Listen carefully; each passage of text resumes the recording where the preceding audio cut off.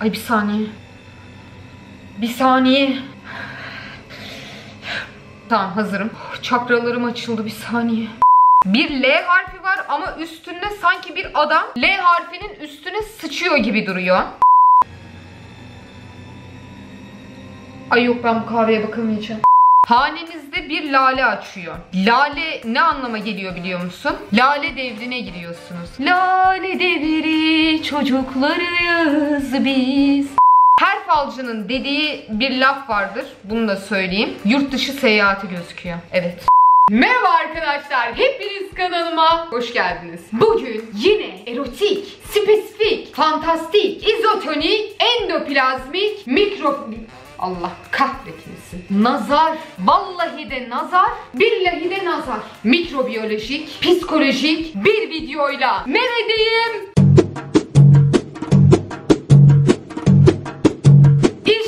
Buradayım. Bugün ben Instagram takipçilerimden, daha doğrusu bugün değil birkaç gün öncesinde Instagram takipçilerimden fallarını istemiştim. Dedim ki siz bir kahvenizi için, kahvenizi içtikten sonra bana falınızı atın. Ben de bu falınızı yorumlayayım. Aynen bunları söyledim. Siz de bana kahvenizin fotoğraflarını attınız. İlk etapta fincanı atanlar var. Sadece sırf fincan olarak. Falınızı yorumlayacağım. Uzun lafın kısası. Olay bu yani. Çünkü neden? Çakralarım inanılmaz açık. Üçüncü gözüm çıktı piyasada. Bugün hissiyatıma fazlasıyla güveniyorum. Ve ayrıca ben çok mutluyum. O kadar mutluyum ki hepinize çok teşekkür ediyorum. 500k olduk 125 sene sonra. Mutluyum. Çok teşekkür ederim. Beni takip edip beni gerçekten çok seven insanlara çok teşekkür ederim. Sevmeyen insanlara da hiçbir şekilde teşekkür etmiyorum. Kendiniz kaybedersiniz siz bilirsiniz. Vallahi var ya adamsınız sincaplar. Adamsınız bu kadar net söylüyorum. O zaman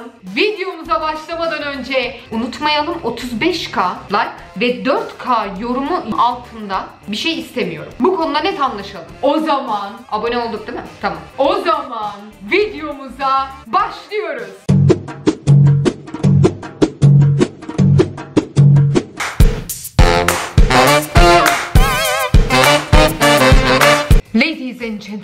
Mınaha başlıyorum. Evet ilk falını yorumlayacağım kişi Merve. 21 yaşında Merve. İlişkisi yokmuş ve çalışmıyormuş. Bakalım. Şimdi Merve'nin fincanına bakıyorum arkadaşlar. Fincanın sol üst tarafında şöyle bir koca burunlu bir adam görüyorum. Kaşları şöyle eğik. Bir adam. Böyle elini uzatıyor. Bir tane deli mi o ya? Bir adam ama kafasında da huni gibi bir şey var. Bir tane deliye. Bunun anlamı deliyle deli olunmaz. Dikkat et. Etrafındaki delilere dikkat et. Bunu görüyorum. O delinin üzerinde iki boşluk görüyorum. O da südyene benziyor. Südyenin anlamı da bilmiyorum biliyor musun ama hiçbir anlamı yok. O adamın arkasında sivri suratlı bir kadın var. Şöyle sinsi bir şekilde bakıyor. Adamın arkasında adamı böyle itekliyor. Böyle kafasını dayamış itekliyor. Bıt bıt bıt çene yapıyor o adama. Yüreğin kabarmış senin. Ama aydınlanıyor artık bak kahvenin dibinden gördüğümüz üzere. Artık aydınlanıyor. Açılıyor yani. Çok karanlık günler geçirmişsin. Onlar da içine tam böyle öküz oturur ya insanın içine. Öyle oturmuş senin içine. Kahvenin diğer tarafına geldiğimde P harfi var. Ters L harfi var. Onun altında da bir L harfi var ama üstünde sanki bir adam L harfinin üstüne sıçıyor gibi duruyor. Ama için çok kabarmış senin. Çok kabarmış. İlişkin yok gibi duruyor. İlişkin işte bu içine attığın dertlerden ötürü bir şeye adapte olamıyorsun. Ama bak için ferahlıyor artık böyle sevgili yapma aşamasına girebilirsin. Sana burada bayağı iş kapıları açık. Ama bir bekleme süren daha var. Her falcının dediği bir laf vardır. Bunu da söyleyeyim. Yurt dışı seyahati gözüküyor. Evet gideceksin. Evet evet o çok istediğin yurt dışı seyahatine kesinlikle gideceksin. Yanında da 3 tane arkadaşın olacak. Dönerken problem yaşayacaksın. Arkadaşlarınla arkadaşlığını bitireceksin.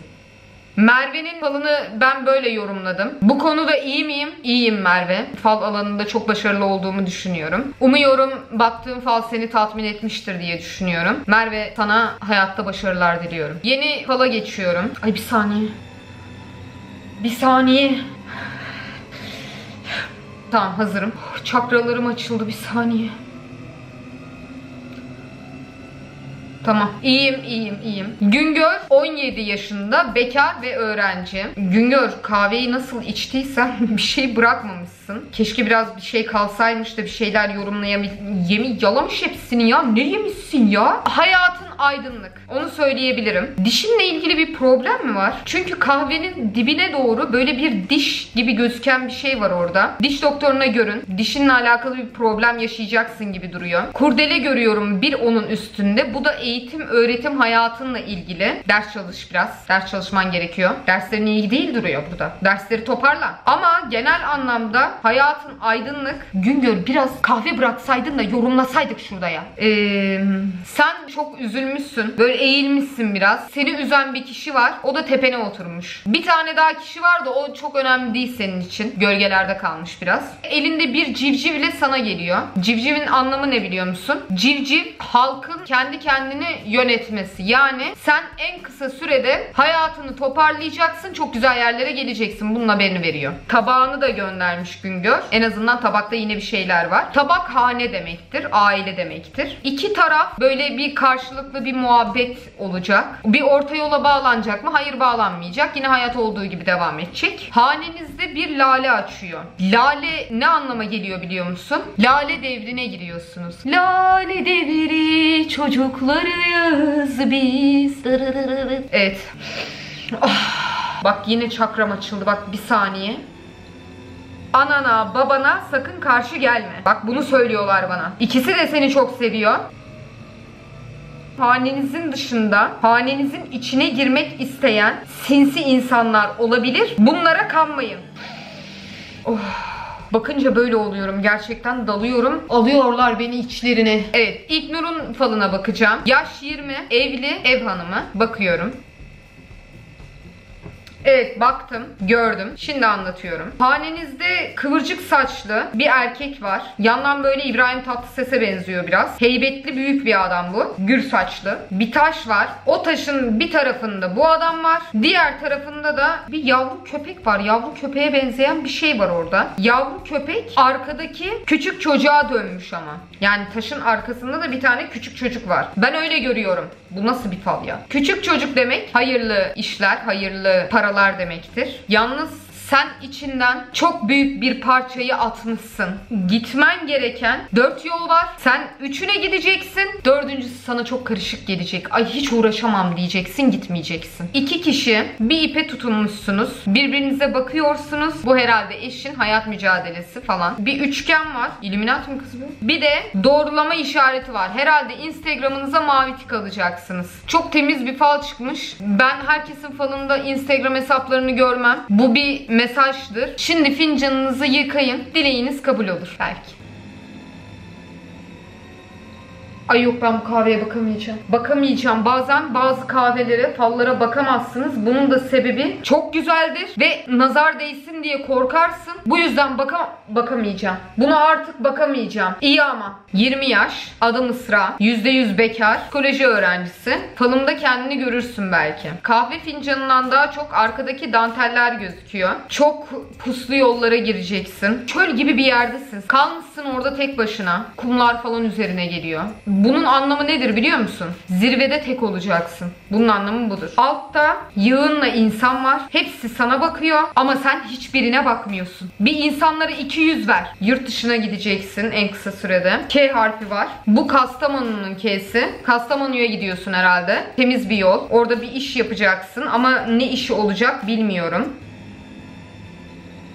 Ay bak şu an artık gerçekten bakmamam gerekiyor. Bunun bana habercisi bu. Bu kadar. Gerçekten fal yeter. Fala inanmayın. Falsız da kalmayın derler. Bugün gerçekten çakralarım çok açıktı ve iyi hissediyordum kendimi. İyi hissettiğim için böyle bir video çekeyim dedim. Umarım size yardımcı olabilmişimdir. Buradan bakamadığım diğer insanlara da baştan şunu söyleyeyim. Hepinize şu an bir toplu bakım yapıyorum. Bir saniye.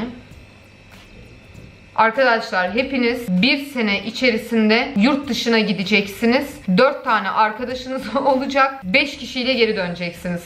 Bunu söyleyebilirim. Bakın gene çok zorladım kendimi.